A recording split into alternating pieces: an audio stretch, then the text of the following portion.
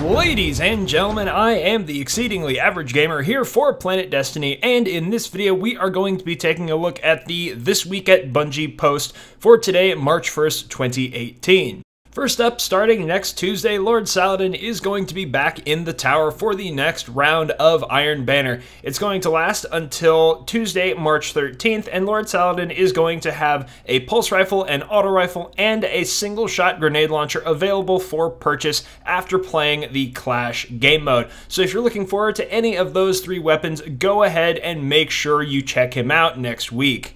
Next up, we get some more information on some very valuable changes that are going to be making their way into PvP with the 1.1.4 update, which actually applies to Iron Banner as well. PvP design lead Derek Carroll tells us that in addition to the increased team sizes up to 6v6, match time limit is now going to be 12 minutes with a score limit of 125 points and a 7 second respawn time.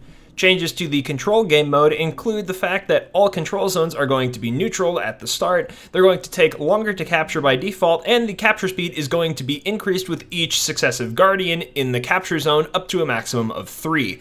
In addition, Guardians participating in a capture get more super energy. Rumble is also going to be coming back with this update with a single point for every enemy kill and no points for assists. And of course, Mayhem is still Mayhem. All these three modes are going to be on a weekly rotation to make sure things stay fresh and don't stagnate like they have been.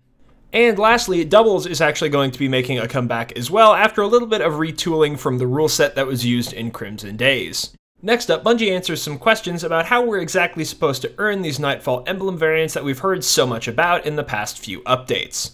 Very basically, according to the dev team, the drop chance for each individual emblem variant increases with the score thresholds that are available in game, with Tier 1 having a threshold of 20,000 points, Tier 2 40,000, Tier 3 60,000, and Tier 4 80,000 points. It is worth noting, though, that Bungie is planning to adjust and retool exactly what the score thresholds should be for each consecutive Nightfall strike, so it could change from the numbers we see here.